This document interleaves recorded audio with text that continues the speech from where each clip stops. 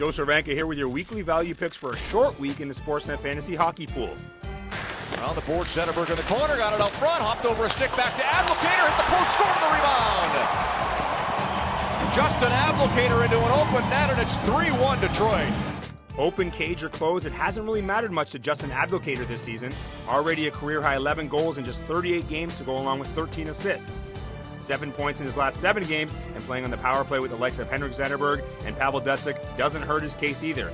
Costing just one fantasy buck, he's a no-brainer. Fires one minute power play, straight a shot, he scores! The power play remains red hot! And the veteran blue liner is a big reason the Flyers' man advantage has been on fuego.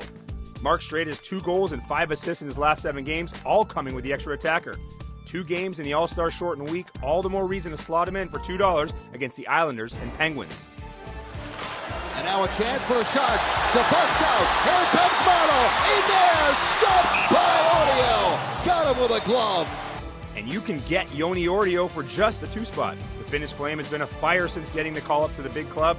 Three straight wins, a goals against average of 1.33, a sparkling save percentage over 95, and the ever important and elusive shutout.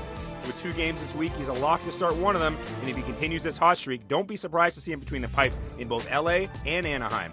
All right, let's recap my value picks. The Wings' red hot winger Justin Abdelkader, the vet Mark Streit turning back the clock, and the Flames out of nowhere keeper Joni Ortio.